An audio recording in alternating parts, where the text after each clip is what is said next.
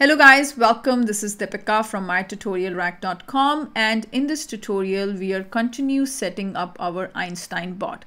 Now let's say in the create a new case menu, the user has provided all the information which the bot needed like first name, last name, phone number, all of that.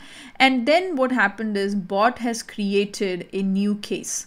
Now let's say after that what happens is the user is still not happy. He wants to talk to a live agent.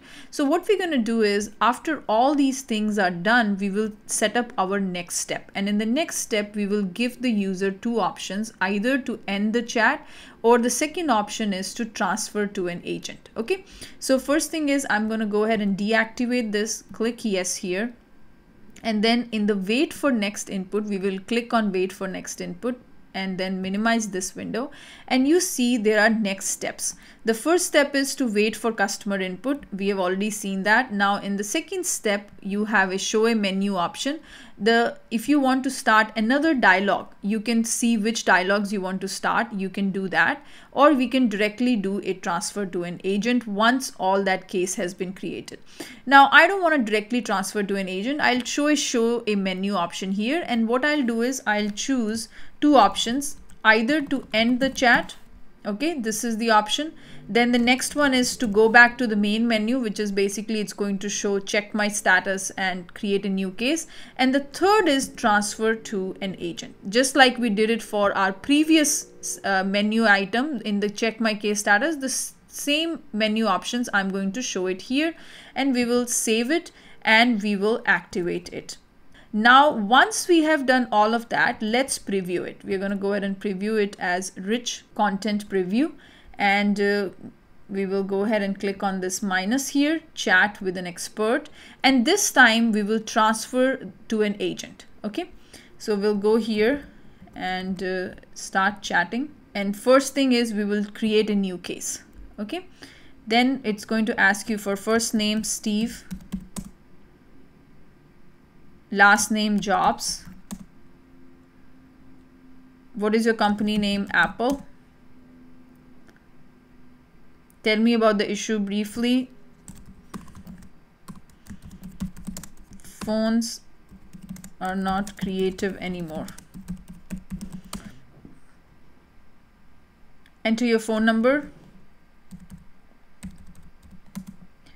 this is the one and then we have is enter your email steve jobs at apple.com let's say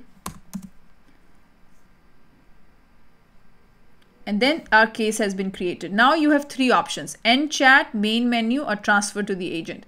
What we're going to do is we will transfer to the agent. But the thing is the agent is not available right now, right? Unfortunately, there are no available agents at the moment. How do you set up the agents now?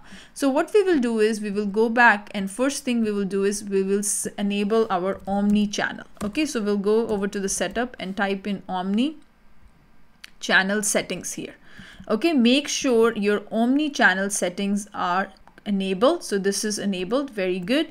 Then what we will do here is we will go over to service console. We'll go to the service console here.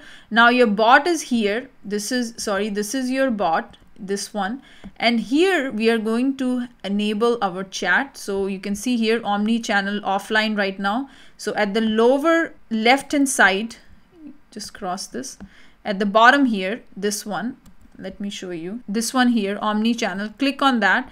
And then what will happen is it is currently showing offline. We will go ahead and make it available. This, this is how the chat will look like. Now if somebody pings it if somebody says again transfer to an agent. Let's say we cross this now confirm and chat and uh, close this chat and let's start another one. We will say dd and then again start chatting. And this time let's just uh, choose the other option which is check my case status because it's simple.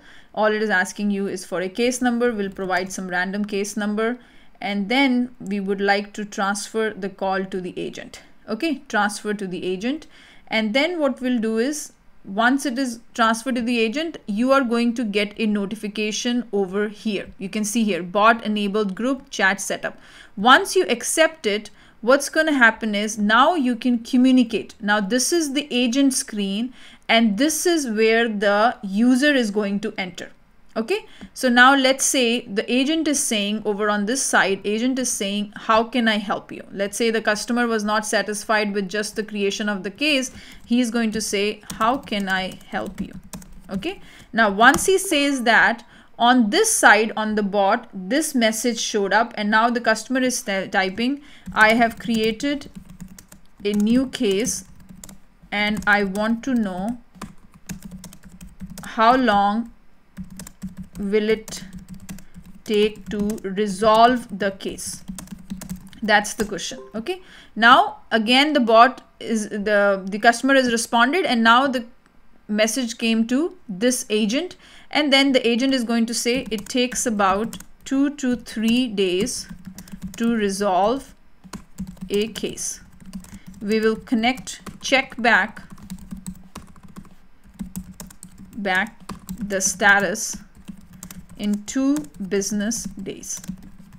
Okay so this is what it's going to resolve. So now what we did is we set up our omni channel which is all everything was enabled. All we did was we went over to service console and we made our agent active or basically available. Now next time whatever is happening the chat whatever the chat the user is typing here the agent is going to see it and they are able to communicate okay? Now this is to transfer to the agent. But we don't want to go through the whole menu options and then get to transfer to agent. Transfer to agent should be available right here. So in order to do that you will first deactivate it. And you're going to add this transfer to the agent edit. The end of the chat and transfer to the agent can happen anytime right? We want to make sure. So what will happen is we are going to show in the bot menu options. Once you select this checkbox what will happen is at any given point in time you can directly click on this and you can transfer it to an agent or you can end the chat in between okay? So let's go ahead and hit the save here and let's say end chat is another one that should be part of your menu option. So we'll go ahead and select this checkbox, hit save. And now what will happen is we'll activate it, just refresh it just to make sure everything is working as expected. If you click on preview, rich content preview here, select an option bot enabled group and uh, chat with an expert here. And then we will go over to start chatting.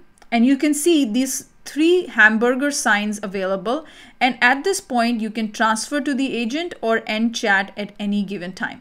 So this is pretty cool right? You don't want to go through let's say check my case status. Let's say you either you didn't want to create a new case. You also didn't want to create a uh, check your case status. You just want it to be sent over to an agent. So you can directly go and click on transfer to the agent. Then what will happen is over here this user is active now he's going to accept this. And what will happen is a new chat window will open here and then here the agent can respond saying how can I help you?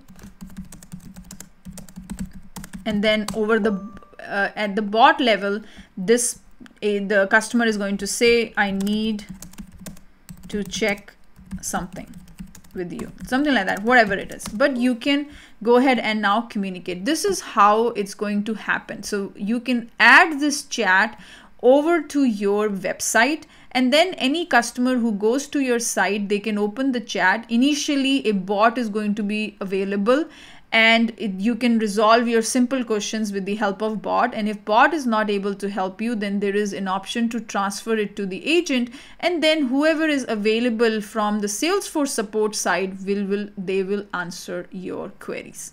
So in the next tutorial also we'll continue learning about this einstein bot i'll see you then. Thank you very much